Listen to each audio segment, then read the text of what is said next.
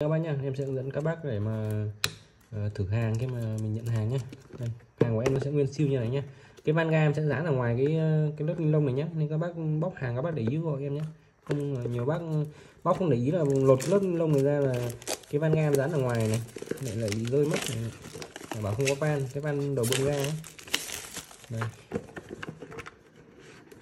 Hàng bên em này có sẵn gam trong để gói thử rồi.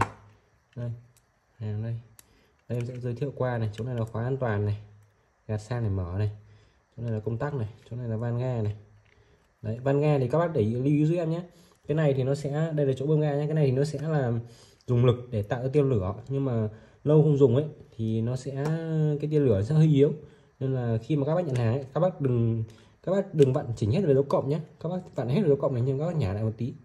Đấy, bởi vì cái tia lửa nó yếu ấy, thì khi mà khi mà vặn hết về dấu cộng này thì cái cái độ phun ga của nó thì cộng kèm phun hơi của nó là hơi mạnh hơi mạnh nên là cái tia lửa sẽ rất là khó đánh thì các bác bạn phải dấu cộng hết nước xong là các bác nhả lại một tí Đấy, sau đó mở khóa an toàn ra các bác đánh Đấy. Đấy. Đấy. Đấy. Đấy. Đấy. Đấy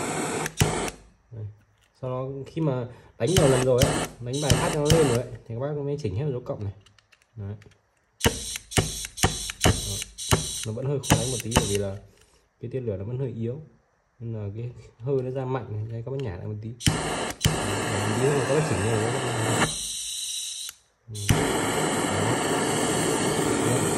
lửa ra cho mạnh.